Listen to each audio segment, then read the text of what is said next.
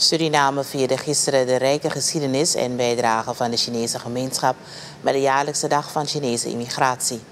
De herdenking memoreert de komst van de eerste Chinese contractarbeiders die 171 jaar geleden arriveerden en een blijvende impact hebben op het land. De Chinese gemeenschap heeft een waardige bijdrage geleverd aan de diversiteit van Suriname, benadrukt minister Albert Ramdien van Buitenlandse Zaken.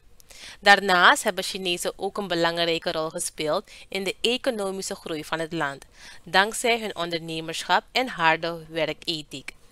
Ramdin noemt de samenwerking op regeringsniveau een van de belangrijke ontwikkelingen voor ons land. moet ik vaststellen dat het aantal bezoeken vanuit China richting Suriname alleen is toegenomen.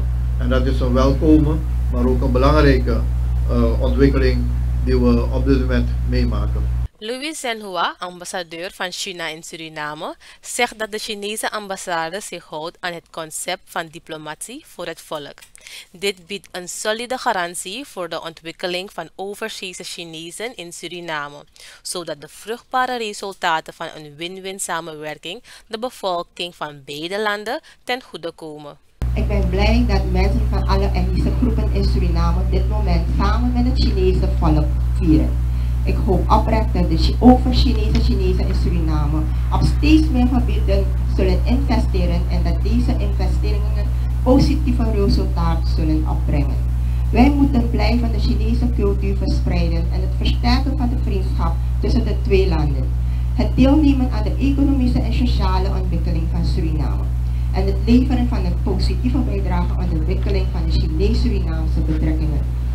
Hun nalatenschap is een levend bewijs van hoe culturele diversiteit een land kan verrijken en versterken.